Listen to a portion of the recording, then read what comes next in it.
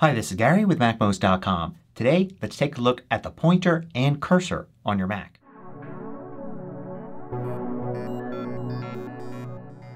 MacMost is brought to you thanks to a great group of more than 800 supporters. Go to MacMost.com slash Patreon. There you could read more about the Patreon campaign, join us, and get exclusive content and course discounts. So the pointer on your Mac is this little arrow that moves around on the screen when you use your mouse or trackpad. Now very few people refer to this as the pointer. Most people refer to it as the cursor but I'm going to show you in a minute that the cursor is actually something a little different. But it's perfectly okay to refer to this as either the pointer or the cursor. Some people refer to it as the mouse. The mouse is actually the physical device. The thing that you see on your screen is either the pointer or cursor. So whether you call it the pointer or the cursor, it's this little arrow you see moving around here as I move my finger on my trackpad. Use it to point to things to take an action on your screen. For instance, if I wanted to open this file I would just move the cursor over it and then I could double click it.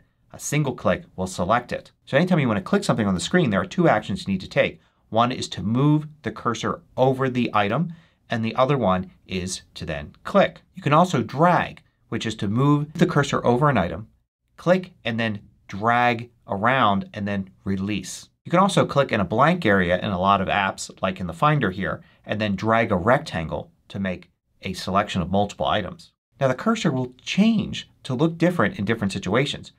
For instance, let's say I'm going to move this file into this folder. You can see the cursor stays the same the whole time. But if I hold the Option key down then I'm actually making a copy of the item and you can see the cursor now has a little arrow with a green circle and a plus in it indicating that I'm copying not moving the file. But you can also see a different cursor if you move it to the edge of a window. If I move to the left edge here notice how it changes to a two-headed arrow left and right indicating that I could drag the edge of this window left or right. If I move it to the corner then it's on a diagonal because I can drag up or down. And the cursor even changes as you're dragging. The line here between the sidebar and the main part of the Finder window allows me to drag that as well and you can see I get a cursor with a vertical line and left and right arrows. If I wanted to drag an item out of the Finder sidebar here I can click and drag it and notice if I move it far enough to the right I get a circle with an X in it indicating that I'm about to remove this item from the sidebar. So pay attention to how the cursor looks to get an indication of what sort of action you're about to perform. When you go into a graphics program, like let's open Preview by double clicking to open this file here, you can see the cursor changes to crosshairs. That's to indicate that I can select a portion of an image by clicking and dragging. And you can see when I have a selection, if I move my cursor over any of the dots, the cursor changes to indicate which direction I can move the line or corner. Sometimes you even get a cursor that looks like a little spinning color wheel. This is the wait cursor and it's telling you that an action being performed by your Mac or the app that you're using is taking a little time and you can't interact with the app while that's going on. So you'll see that spinning cursor telling you to please wait. Now let's go into an app where I'm writing some text. Here's the Mail app and I'm going to compose a message. Now I've got actually two cursors on the screen, or technically a pointer and a cursor. The blinking line is the text cursor or just the cursor. You see the cursor is supposed to refer to an indicator on the screen that shows you where you're about to insert text when you type on the keyboard. Whereas the thing that you control with the mouse or trackpad is the pointer. But you can refer to them both as the cursor or maybe one as the cursor and the other as the text cursor. So when I type something the line is showing me exactly where the next character is supposed to go.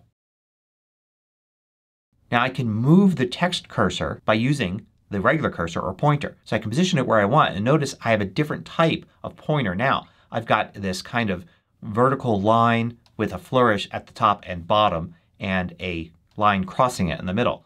So I can click here and I move the text cursor there showing that I can type and insert text at that point. Or if I use the delete key I'm going to delete to the left from that point. Notice if I were to select some text by clicking and dragging it actually creates this highlighted area showing what I have selected. And there is no text cursor. But if I were to type it would simply replace the text that's highlighted. Or if I hit the delete key it deletes that text. And you can see as soon as I do that, since nothing is selected, I get the blinking text cursor again at that location.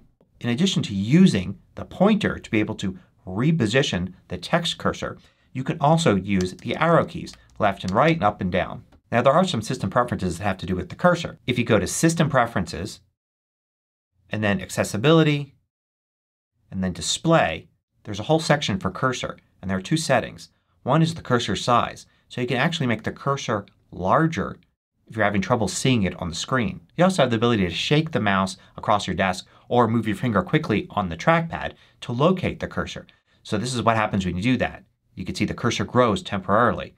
The idea is if you have a lot of things going on on your screen or you have multiple displays sometimes you can lose the cursor and not know where it is. So you can use this to quickly locate it. It draws your eye to it. Now notice this will not affect the size of the text cursor. But the text cursor size reflects the size of the text. Notice the size of the line here. I'm going to Command A to select all and then increase the size of the text.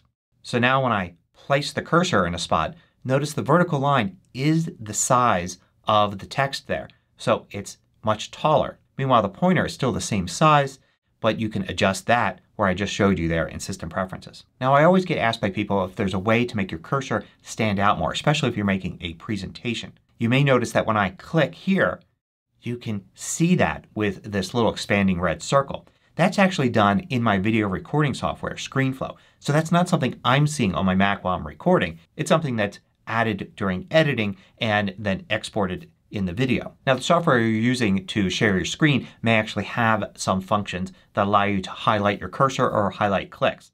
But if it doesn't you can always go to the App Store, search for Cursor, and there are a whole variety of different apps in the Mac App Store that will change the look of the cursor or allow you to emphasize where you click.